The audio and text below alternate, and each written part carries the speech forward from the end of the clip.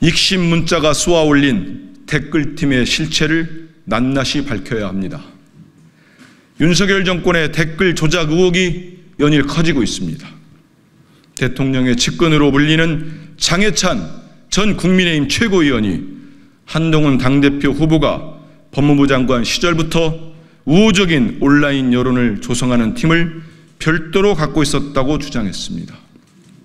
6개월 전 김건희 여사가 당시 한동훈 비대위원장에게 보낸 문자 메시지에 댓글팀이 직접적으로 언급된 것도 놀라운데 일국의 법무부 장관이 댓글팀과 유사한 사설 조직을 법무부 밖에 두고 있었다는 의혹이 불거진 것입니다.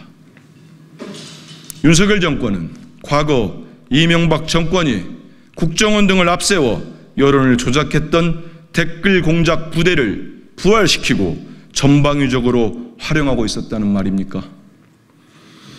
국정원 댓글 조작 수사를 지휘했던 윤석열 대통령이 오히려 댓글 부대 노하우를 배웠다는 것입니까?